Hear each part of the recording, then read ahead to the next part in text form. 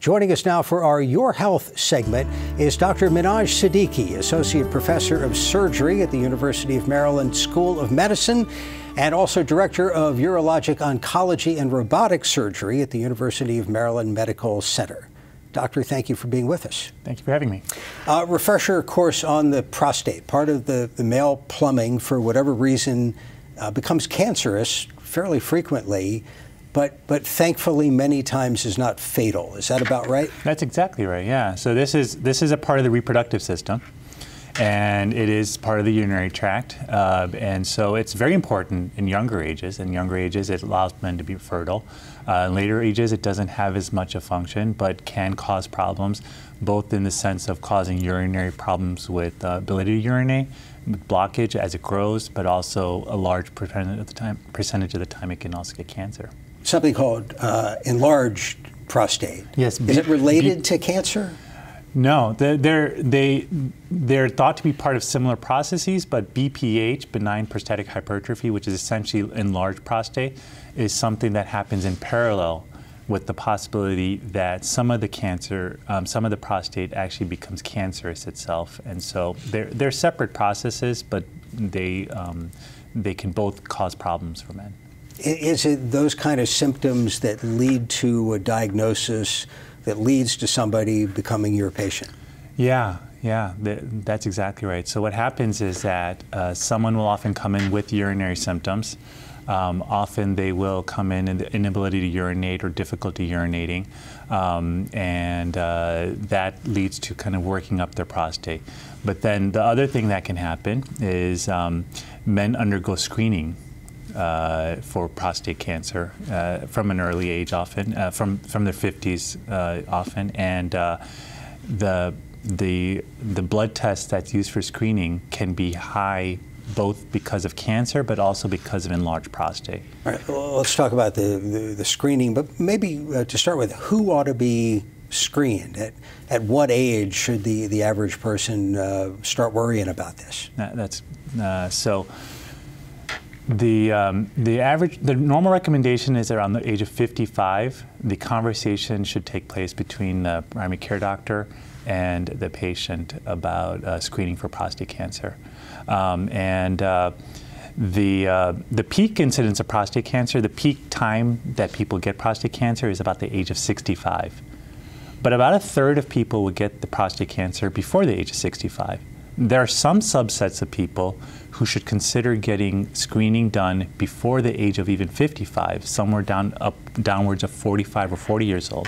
Is that because it runs in the family or different exactly. demographic groups uh, higher incidence? Yeah, exactly, both. So, so African Americans are at higher risk.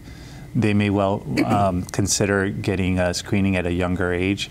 Um, men who have first degree relatives, uh, such as fathers, or um, brothers, uh, they should consider also because they are also at higher risk. Uh, there's actually emerging emerging uh, uh research showing that uh, men with um, uh, female relatives with breast cancer might actually be at higher risk too. And although this is not like a, a proven thing yet, but there's some thought that they might actually benefit from earlier screening too. Let me remind our viewers if you have a question about prostate cancer uh, treatment or screening, give us a call. We'll have the number up on the screen.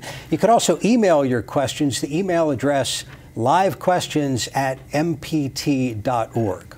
Um, I can think of two major screening tests for this. One is fairly old school, mm-hmm. uh, digital uh, exam, yeah. uh, which does not involve ones and zeros, uh, and the other is is the the PSA and can think of some downsides to, to both of these. The PSA is particularly, has been at times particularly controversial. That's very true, yeah. So the PSA blood test, it's PSA stands for prostate specific antigen, and it is a, a protein, a, a compound, a, you know, that is made by the prostate. And it's only made by the prostate. And so it floats around in the blood. And prostate makes it, but prostate cancer makes more of it. So there's, if it's high, it's high because of one of two reasons. Either the prostate's making too much, such as an enlarged prostate, and that's where that kind of initial conversation comes into play, or cancer is making it. And that's usually when it's high. We're trying to make sure that it's not that the cancer is making it and that it's for some other reason. Right. Um, the controversy has been that it can be falsely elevated. And so people have a high PSA and it kind of sets, sets into play a, a sequence of events such as the need for a biopsy, uh, the need for, you know, uh, um, some, some concern by the people that they might have cancer and they don't really have cancer. And so there are downsides to having a false positive test. Um, but the, the benefit is that uh, prostate cancer in the early stages is a disease without symptoms. Uh, so you have no idea that you have it. You feel totally fine. Uh, and so the only way to really catch it is by this blood test. Interesting that you want to catch it early, but, but many times uh, when you have a patient with an early stage prostate cancer, you don't do anything, right? Yeah, yeah, yeah. So it turns out that the majority of the time, you know, this is a very common cancer. This is um, about 3 million men in the United States are living with this cancer. Uh, and, and the key to that is that they're living with the cancer. This is a cancer that more often than not, you die with the cancer rather than of the cancer. Mm. You know, and so um, the, the, the majority of men can just be watched carefully and, and monitored with like something such as active surveillance rather than needing active intervention or treatment. Let's uh, get to the phones. Bunch of calls for you. Uh, Lisa in Allegheny County. Lisa, thank you for the call. Go ahead.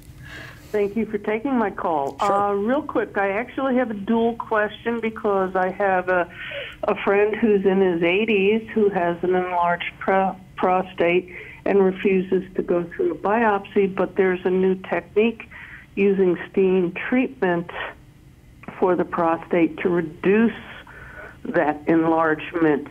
Can you um, discuss that a little bit more and why should anybody in their 80s even bother with the process? Great questions. Thank you very much.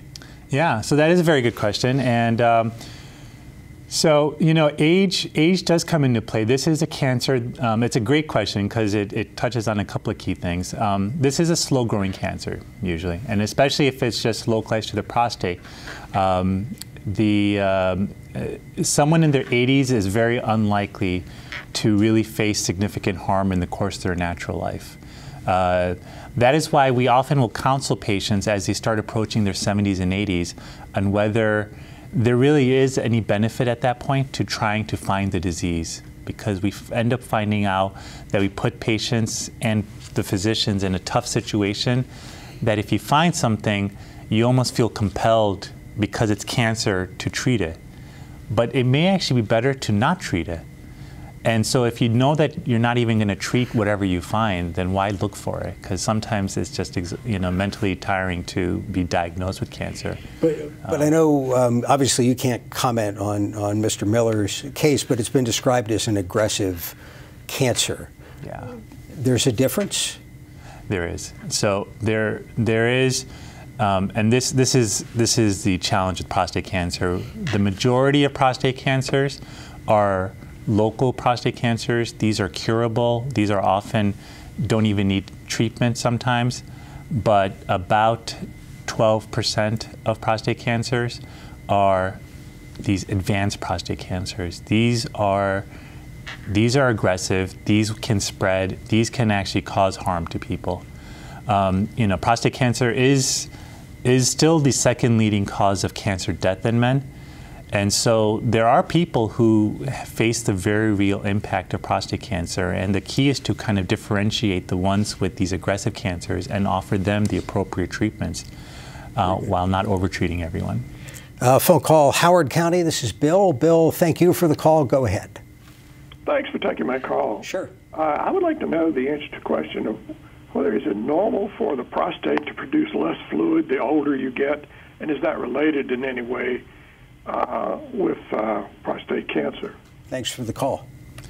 That, yeah, that's that's a good question. There, there that is um, within the range of normal, and in terms of its relatedness to to prostate cancer, I'm not aware um, that that would be related. Uh, so I think that that's just one of those things that the body changes with time.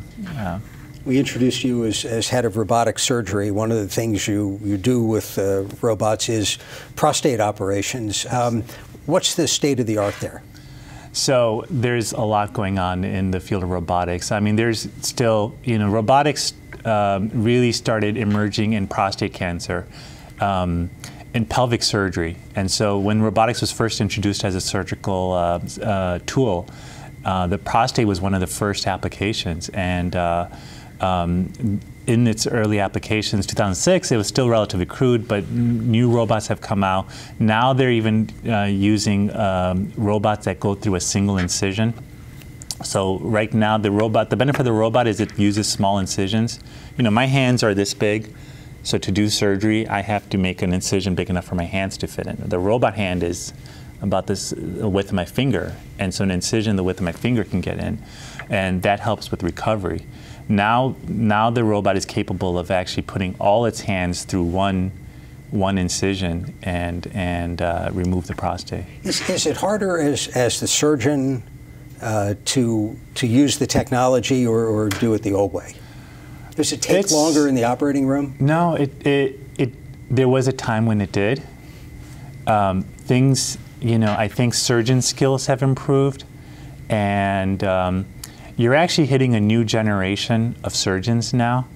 The, the, te the technology has been around for about 12 years now, and you're finding a whole generation of people who've trained with robotics as their first language, if you can think of it that way. And so um, you know, and I that's I'm probably in like kind of that first generation of people who actually came through learning not, not surgery. scared of it at all. Yeah, it's yeah. it's actually a basic tool for me, and I it's it's a it's a very familiar thing for me. So, um, so you know, I am as fast robotically as I am open.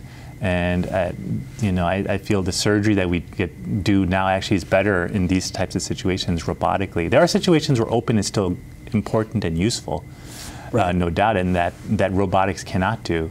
But in, in most cases, actually, robotics has really become the go-to tool.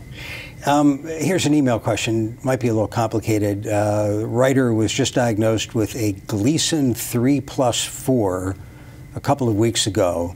55 uh, years old, had an elevated PSA about 10 years. Last PSA was between 6, 5, and 8. Uh, father had prostate cancer at 78. Uh, question is, how urgent is it to have treatment? What is Gleason is a scale? Yeah, yeah. Let me break that down. That's, okay. that's a great. It, it, actually hits on a lot of key points. So, um, the the key takeaways from that is first is the Gleason score. The Gleason score is an aggressiveness scale. Okay, and, and Gleason score is what's historically been used over the last 30 years. There is actually a new scale that is coming up now which is more, I think, patient friendly, frankly. And so the Gleason score system goes from 6 through 10, and it's, a, it's the sum of two numbers from 3 to 5. And so you get like 3 plus 3 equals 6, or all the way up to 5 plus 5 equals 10. The new system goes from 1 to 5. Okay, and so on the new system, this would be a 2. Uh, this is an intermediate risk prostate cancer. So it's probably aggressive enough that it needs treatment, but it just barely is. The PSA is the other thing we use for part of kind of figuring out how aggressive and how urgent this is. Less than 10 is a low risk category. Between 10 and 20 is intermediate risk. 20 and higher is high risk. How, how do people respond psychologically to, to that conversation where you tell somebody you have this cancer uh, and, and you can't definitively say it's slow growing, minor, forget about it. Nor can you say it's aggressive, we need to go to surgery. It's sort of in the middle. Yeah. We need to watch it. How, how do people handle so, that? They, you know, remar remarkably well. People are very robust. I mean, it's, it's, you know, being in the, in the role as a provider that I've been fortunate to be in, I've come to appreciate how how much people can uh, adapt to these situations. This is often the first major medical diagnosis for men. You know, they, have been diagnosed with blood pressure or cholesterol, but this is like the major thing. Because it's a slow-growing cancer, and actually that, that, that's the point to make about the other patient too. Uh, because it's slow-growing cancer, you have time to actually learn about the disease as a patient. And that's something I really emphasize with patients. You know, this is you know, read about it, get second opinions, talk to a surgeon, talk to a radiation oncologist, talk to a medical oncologist, get learn about the disease and, and you know and, and be an active participant. And by doing that, um, you know, you can take a few months to learn about it. And when they do that, I think that they start to like then in the beginning it's overwhelming. But then you know, once you, the dust settles, control also. Yeah, yeah, and so having having these options for treatment, often there are a lot of options. Um, it, it, it, to some patients a little overwhelming, and some patients just need a little guidance, and they, so they appreciate that. You, you don't mind when people talk to uh, Dr. Google, as uh, as it's called. yeah, I, I don't mind it. I, I I really appreciate an informed, um, a participating patient. I think that the, the, the, the challenge with Dr. Google is when it, it scares the patient themselves because they see the worst case scenario on, on Google of like people dying from the disease when that may not apply to their situation at all. Here's so, a quick email question. Yeah. Is a colonoscopy connected in any way with prostate cancer? Uh, no, no. That, that fortunately, you, you know, uh, but but one thing that is interesting is a colonoscopy is a good opportunity for a, a rectal exam. And so a colonoscopy is at a time, I've, I've had many patients who, who came to me because they said that my GI doctor was doing a colonoscopy.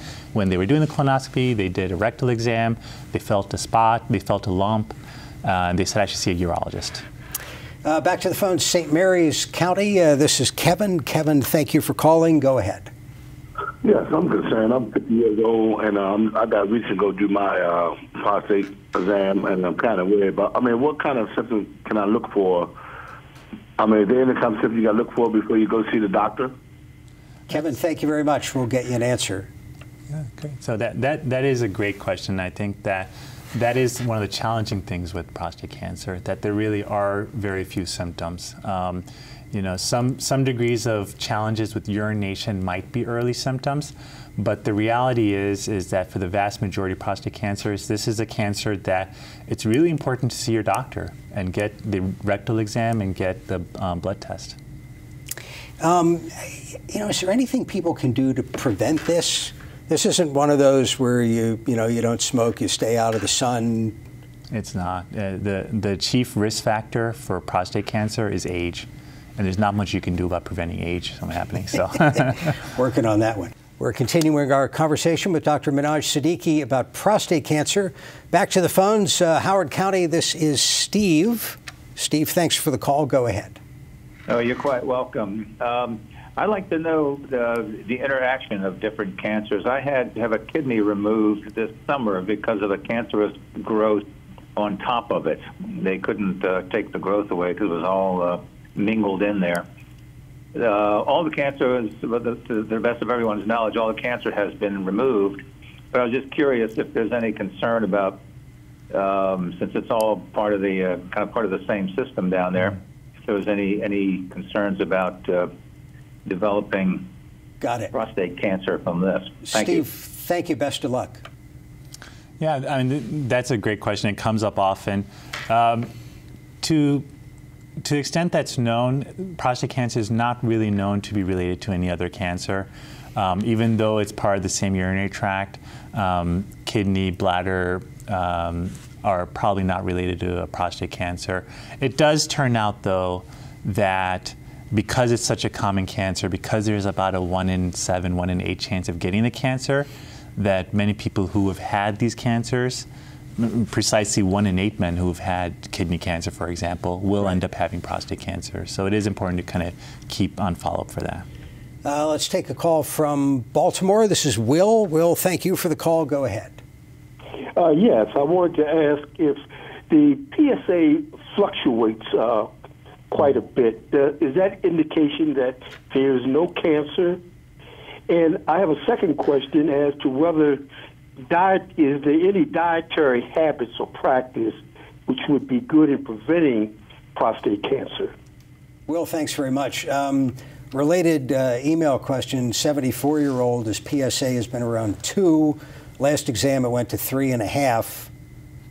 How alarmed should that person? So, how much do these bounce around? Yeah, PSA bounce is notorious for bouncing around. It can bounce around in the course of a day. It can bounce around in the course of a few hours. Uh, it's very frustrating, actually, both to physicians trying to provide care and then the patients, obviously, who are getting these these conflicting messages.